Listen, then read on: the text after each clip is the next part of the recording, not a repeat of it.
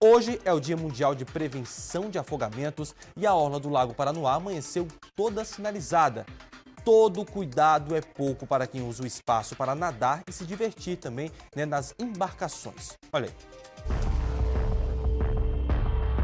Primeira placa, aqui no, na ponte Otacá, local com maior índice de afogamento, a gente faz um alerta para os banhistas atravessarem até a ilha. O local aqui é muito fundo e muitos afogamentos são ocasionados por banhistas que se arriscam até chegar à ilha.